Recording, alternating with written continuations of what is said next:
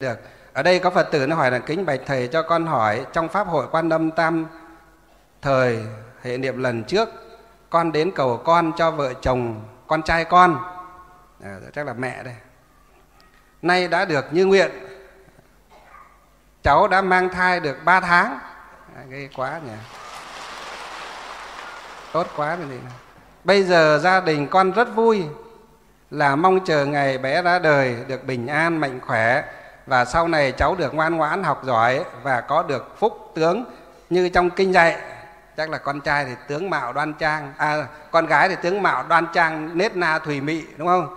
Con trai thì phúc đức trí tuệ đa văn mạnh khỏe đấy. Bạch thầy gia đình, chúng con nên làm gì để cháu, con khi ra đời được như thế? Con cũng đã có tuổi rồi, chắc không thể chăm lo và nhìn cháu trưởng thành. Chắc là được cứ tu đi là được. 20 năm nữa thì chắc là được. Năm nay không biết đến 80 chưa mà bảo là lớn rồi. Xin thầy khai thị để cho con được biết là a di đà phật. À, cái trường hợp này thì ờ, được rồi nhưng phải cái có phải mấy cái việc cần phải làm?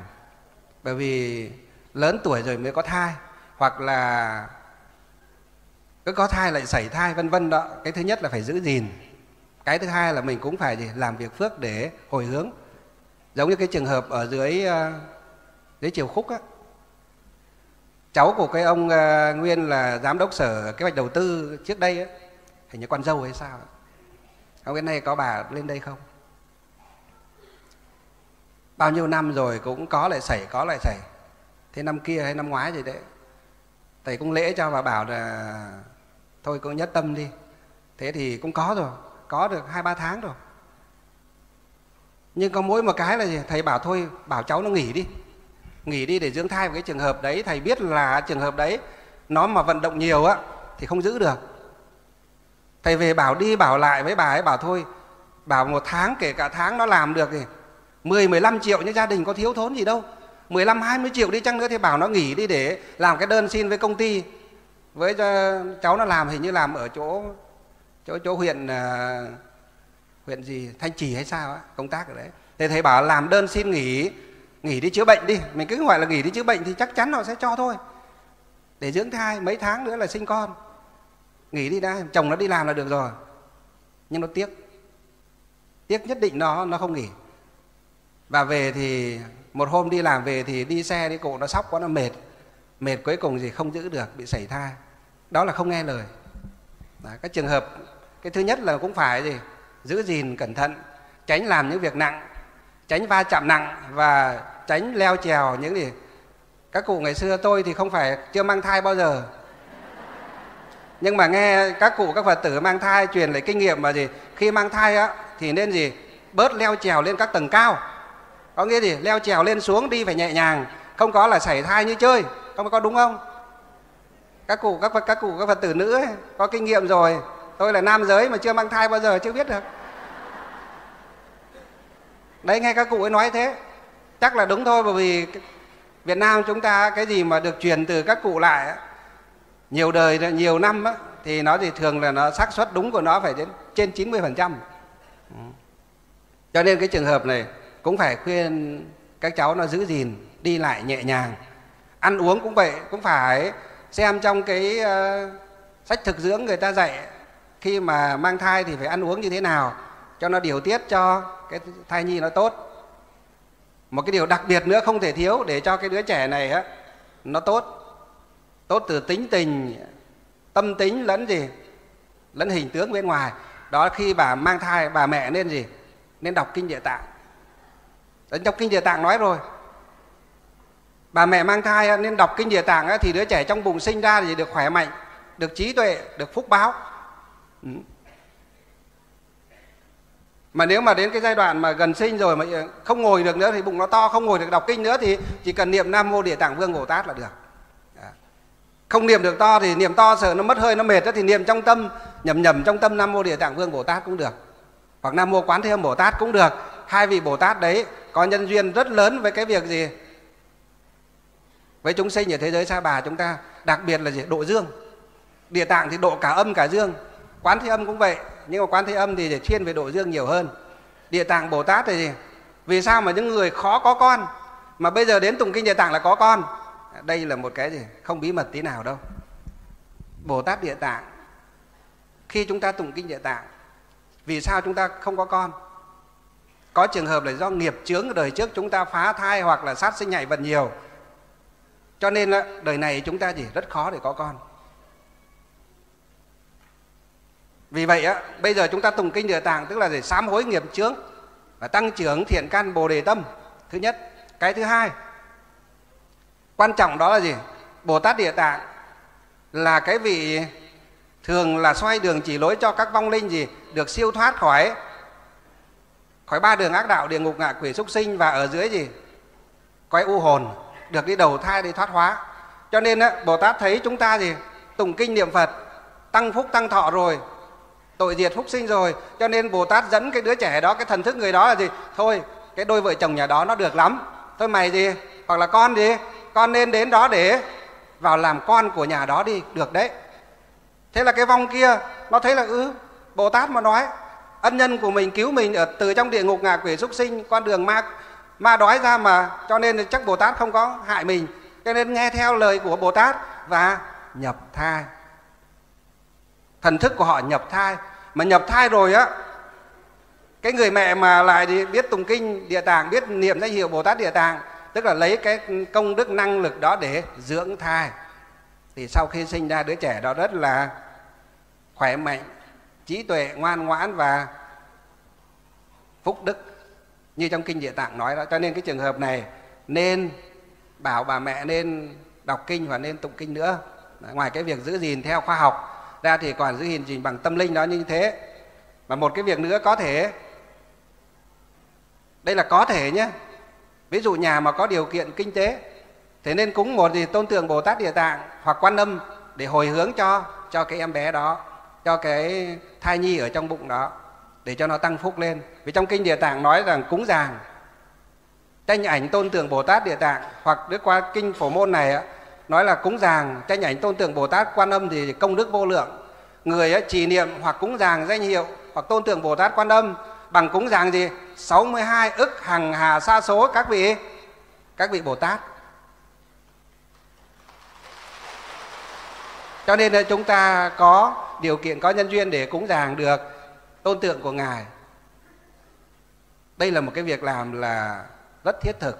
Nó đem lại cái lợi ích cho chính bản thân mình và cho cả chúng sinh nữa. Làm thì tôn nghiêm cho cả cảnh quan của ngôi chùa nữa. Vì các vị cúng dường tôn tượng bồ tát quan âm hay địa tạng, tôi có mang về nhà tôi không? Tôi có cho người khác không? Không, đem thờ chính ở trong ngôi chùa này và thờ trong lòng của đại tượng amida vì hòa bình thế giới đó. Một vạn pho tượng phật đến sau này làm xong cái đại tượng một vạn pho tượng phật ở trong đó, thì đây là một cái công trình gì?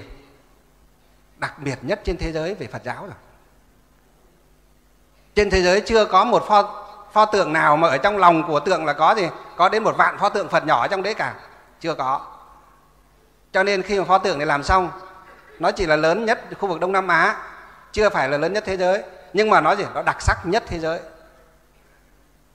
Và như vậy có rất nhiều phật tử, tín đồ phật tử và những thiện nam tín nữ. Không chỉ đất nước việt nam chúng ta mà bạn bè quốc tế, những người theo phật giáo, họ về việt nam chúng ta du lịch, họ biết rằng sau này đây là một cái điểm điểm đến không thể thiếu. Khi đến việt nam, những người có tâm với phật, họ sẽ biết được rằng đây là một điểm không thể thiếu, giống như chùa hương ấy. Là nơi gì? Nơi thánh tích của nước quán theo bồ tát ấy. Họ không thể thiếu thì nơi đây sau này sẽ nói là gì? Thánh tích của của địa tạng vương bồ tát ở việt nam chúng ta, cũng như trên thế giới đó, các quý vị.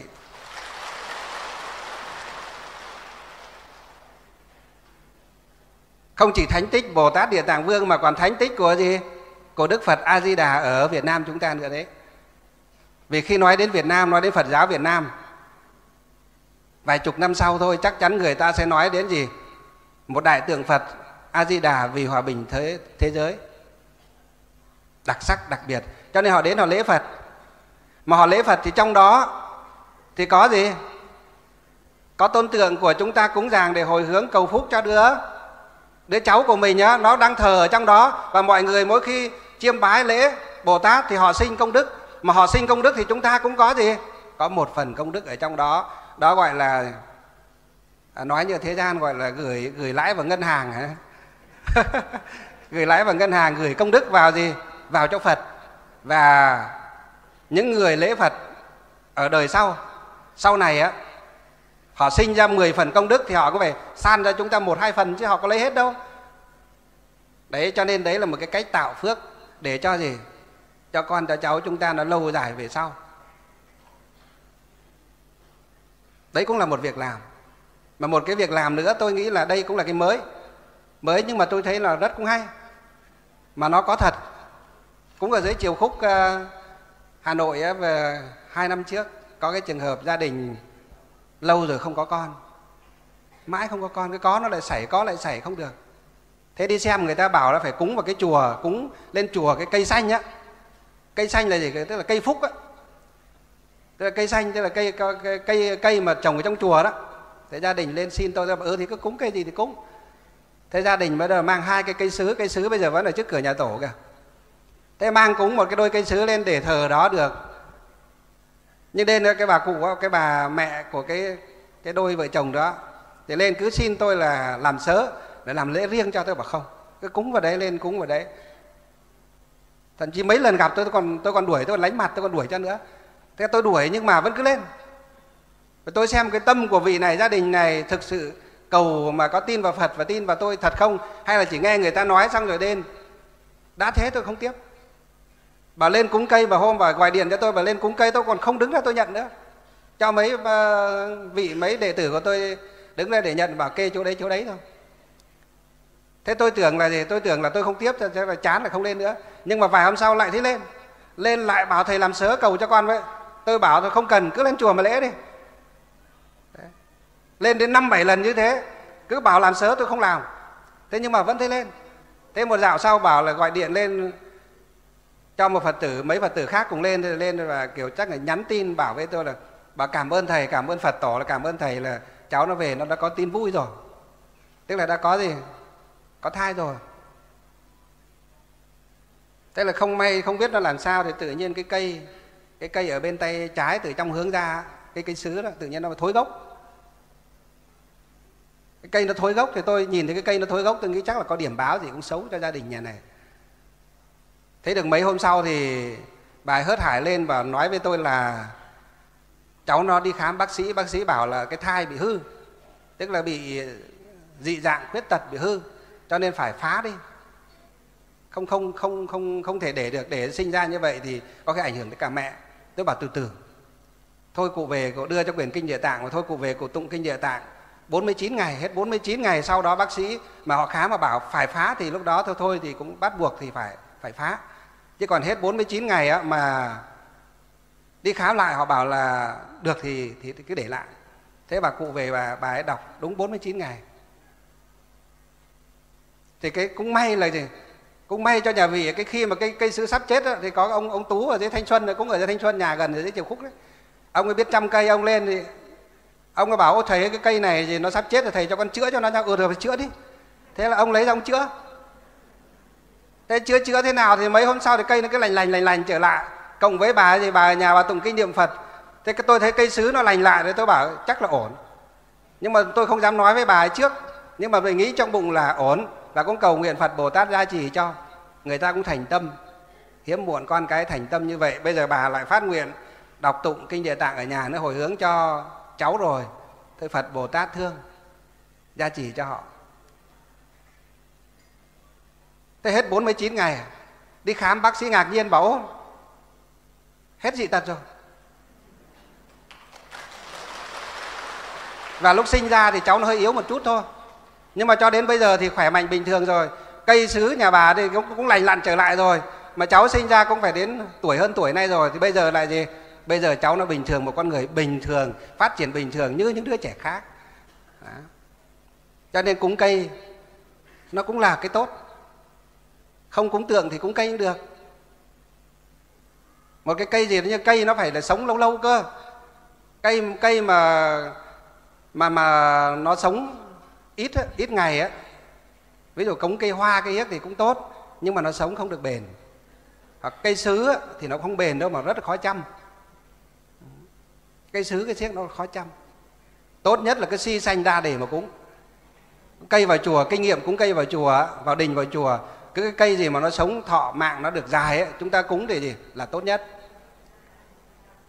Cây si cây xanh cây đa cây đề. Đó. các phật tử mà cầu đạo á thì chúng ta nên cúng cây đề cây đa cây đề. Cúng để cầu cho, cho tuổi thọ á thì cầu gì? Cây đa cây đề. Mà cúng cho gì? Cầu con cầu cái thì nên cúng gì? Cây xanh từ chúng ta nghe cái từ cái xanh xanh có nghĩa gì? Có màu xanh mà cái xanh nó thọ mạng cũng gì rất dài. Có cây nó thọ gì? bốn năm trăm tuổi. Mà nó là ít bệnh, ít, rất ít sâu bệnh. Cây xanh, nó rất ít sâu bệnh, rất tốt. Đó. và nói đến đây thì chắc là cũng có duyên duyên luôn. Ví dụ ai mà chúng ta cúng thì ở đây, đặc biệt là đạo tràng nữa. Vừa qua gần tết thì à, có một cái gia đình ờ, trồng cây cảnh ở ngoài sân tây, người ta, chúng ta biết chùa, năm nay chúng ta có nhiều cái nó nó đẹp chỉ trong vòng có một tuần, hơn tuần thôi là có nhiều cái yếu tố. Có một cái gia đình họ trồng cây cảnh ở ngoài sân tây, thầy đi ra thầy nhìn thấy cái vườn cây của ông ấy nhiều mà rất là đẹp. Mua thì mình không có tiền nhiều để mua mua có hai cây thôi. Nhưng mà chùa thì lại rộng. Thế là ngỏ lời hôm nay ông đi vắng, ngỏ lời với bà và thấy bà cho thầy thầy mượn vào mấy hôm tết để trang trí tết có được không? Thế bà bảo được thầy. Bà bảo được. Thế thì tôi bảo là thế thì thế bây giờ làm cách nào nhỉ để chuyển vào nhỉ? Thì bà bảo thôi nhà con năm nay cũng đang xây dựng nhà cửa cho nên không có điều kiện để chuyển vào cho thầy mượn. Thì chúng con cho thầy mượn cây còn toàn bộ cái công chuyển đi vận chuyển ra vận chuyển vào thì nhà chùa chịu trách nhiệm. Mình như mở cờ trong bụng. Và thế là tốt rồi. Trước đây nghĩ là gì? Phải đi thuê. Đi nhờ hội sinh vật cảnh á, thì mình phải mất phải đến ba bốn trăm triệu để để thuê để nhờ thì mới được. Nhưng bây giờ mà mình nhờ họ kiểu mất tiền xe chỉ mất khoảng trăm triệu thôi. Đúng là phật bồ tát gia trì cái khó là lo cái khôn. Thế ra gặp mình cứ nói hỏi nghĩ là cái vườn cây cảnh người ta đẹp như thế ai người ta cho mình mượn? Thế mà ngỏ lời hỏi mà cái bà bảo được thôi. Nhưng mà chồng đi vắng tôi hỏi thì thế thì chồng có đồng ý không? Bảo con quyết hết thầy cứ yên tâm. À, đúng là các cụ ngày xưa nói là lệnh ông không bằng cồng bà là chỗ đó. À, lệnh ông không vào cồng bà. Thế ông mặc dù ông đi vắng, tôi hỏi thì ông có đồng ý không? Vườn cây của ông cơ mà, bà bảo, cây của ông nhưng mà thì con quyết hết, thầy cứ yên tâm đi. Thế gần đến ngày 20 20 21 vẫn chưa thấy cây đâu. Mình ngại có mình gọi điện cho bà thế, gọi, mình có nói rất nhẹ nhàng, gọi, bà ơi, thế ông thế nào? Bảo, thầy cứ yên tâm đi, con quyết, con hứa với thầy con quyết hết mà. Thế nhưng mà nhà con thì đang bận. Anh ấy đi trồng cây ờ, dự án công trình tận ở trên trên trên Hà Giang chưa về cho nên thôi thầy xin thầy là qua ngày 23 hay 24 con chuyển cây vào thầy cứ yên tâm con hứa với thầy là con giúp được thầy thế là bài cho vào 24, 25, 26, 3 ngày chuyển vào 27, tận 27 Tết vẫn chuyển vào. Cho nên năm nay chúng ta thấy cảnh quan của chùa chúng ta thì nó đẹp nhanh lại như thế. Mỗi nơi một tí. Và tôi bảo là được rồi, để để gia đình có tâm như thế để nhưng mà tới đây để xem các đạo tràng Phật tử của tôi. Đạo tràng nào mà cúng được cây nào thì ờ, để lại cho nhà chùa luôn thì đỡ phải chuyển đi chuyển về.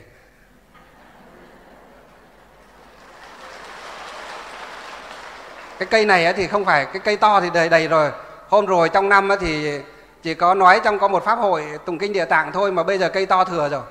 Những cái cây si xanh mà trồng xuống đất là to thì thừa, đúng là thừa rồi. Bây giờ ở trên ba trại, ba vì và người ta còn cho phải đến năm sáu chục cây nữa nhưng mà gì? Thừa rồi, không đi đánh được nữa bây giờ đánh về, còn phải dành cho một số trồng cây ăn quả cây xấu rồi cây mít cây bưởi cây ấy để ăn quả không có trong chùa thì toàn si xanh đa đề, thì nó nó cũng nhàm đây thì trồng ở lối đi, những chỗ căn bản thôi còn bây giờ là những cái cây mà để trong chậu, cây cổ thụ để ở trong chậu nữa thôi Đó. thì các đạo tràng chúng ta mà, đạo tràng nào muốn ngon lành à? ừ. muốn ngon lành thì cứ cúng một cây hoặc một đôi à, thì chúng ta tập trung nhau lại. Đầu xuân năm mới làm việc phước trồng cây phước. Đấy cây xanh tức là trồng cây phước. Chúng ta có thể hoan hỷ phát tâm để cùng một đạo tràng. Chúng ta có điều kiện thì cây lớn không có điều kiện cây nhỏ. Hôm qua thầy lượn lượn qua thầy thấy là ông ấy viết ờ, thầy bảo nói với ông bà thôi. Ông bà thì cứ viết bán cây bao nhiêu đó thì cứ viết cái giá vào đấy. Nếu mà có phật tử nào hay có gia đình nào hoặc có hội nào mà họ cúng được cây nào thì họ, họ cúng viết vào đó thì hôm qua thầy đi lượn lượn một vòng, thầy thấy là có cây cũng đắt. Ngày xưa, những cái cây như thế nó phải gì, hàng trăm triệu, nhưng bây giờ nó giảm đi hàng nửa, thậm chí hai phần ba. Ngày xưa đi hỏi khoảng năm 2008 đến 9 đến 10 thì cây cảnh nó vô giá. Nó hét ghê lắm. Nhưng bây hôm qua thầy đi lượn một vòng, có cây nó, có khi người ta trồng phải đến 15 20 năm nay mà thấy người ta ghi cái giá là 15 triệu một đôi, tức là 7 triệu rưỡi một cây nhưng có những đôi cây khủng là thầy nhìn thấy hình như cái đôi cây ở gần chỗ đây là thấy 65 triệu đôi hay sao? À, đôi cây to nhất đẹp nhất đấy mà sẽ được thờ nơi trang trọng nhất là trước tượng Phật Amida đấy. Cái đôi to nhất mà đẹp nhất đôi đấy ông ấy bảo đôi đấy là chúng con chăm sóc là về tay chúng con là gần 40 năm nay rồi mới được như thế. Và ngày xưa người ta giảo thì hơn 200 triệu rồi nhưng mà không bán. Cái cái ngày mà nhiều cái ngày mà nó đắt đấy nhưng bây giờ thì thấy ông ấy ghi có 65 triệu. 65 triệu cũng to đấy chứ không phải là ít đâu đúng không? Gặp vào cái lúc mà 300 nghìn không có tiền đổ xăng thì cả một vấn đề. Mà còn nhất là bây giờ thầy còn đang làm những công việc Phật sự chính nữa cái đó thì chưa dùng được. À, cái đó chưa dùng được mà phải làm tượng đã xây dựng đại tượng đó cái đấy có nơi thờ phụng chính đã. Còn cây cảnh thì nó duyên đến đâu thì làm đến đó ai người ta có duyên thì người ta phát tâm thì tiếp nhận. Thôi bây giờ cũng chưa thể bỏ tiền ra để mua cái đó được. Vì tiền bây giờ họ đang cúng dàng để xây dựng. À, thế còn đạo tràng nào mà chúng ta cúng được cây thì chúng ta ôm được cây nào thì cứ ôm đi. Để cho ôm thoải mái. Ôm cả cái vườn cây cũng được. Và đặc biệt là những cái đầu xuân này mà vị nào mà làm công ty làm doanh nghiệp mà cúng được cái cây cây xanh vào chùa ấy, vào đình, vào chùa miếu mạo, đặc biệt là vào chùa, thì rất tốt cho cái công việc làm ăn của mình. Và cái chuyện là cầu con, cầu cái mà chúng ta làm được cái việc đó là cũng rất tốt.